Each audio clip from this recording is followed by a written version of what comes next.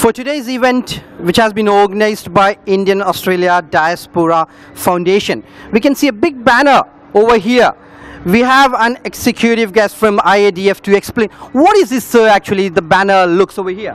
These are all the participants for the IADF, and everybody is a part of the community. And IADF is formed because of the, all these people, and they are arranging the welcoming part of Modi. Oh, that's great. So, Yoga for Harmony and Peace, Hindu Council of Australia, Gargi Awards, Hindu Education. is also a, Wow, wonderful. yeah.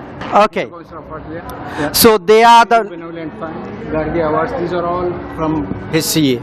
They are all from the. SCA. Yeah. That's wonderful. Thanks for the information. Yeah, looking forward for it. Thank you.